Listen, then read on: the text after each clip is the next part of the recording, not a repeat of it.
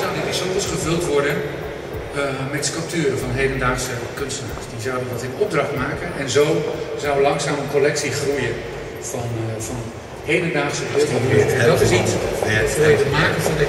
Dus um, als mij gevraagd wordt, wat heb je met zo'n slokkenplan? Of wat is het belang voor kunst in de openbare ruimte? Dan is dat eigenlijk een vraag die heel dichtbij me staat.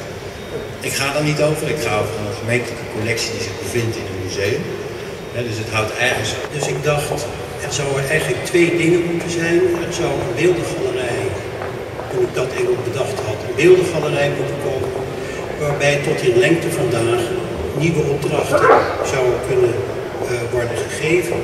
En waarbij op een gelimiteerd aantal plaatsen, die 40 sokkels, dan telkens uit een steeds groter wordend depot die beelden uh, kunnen worden geput.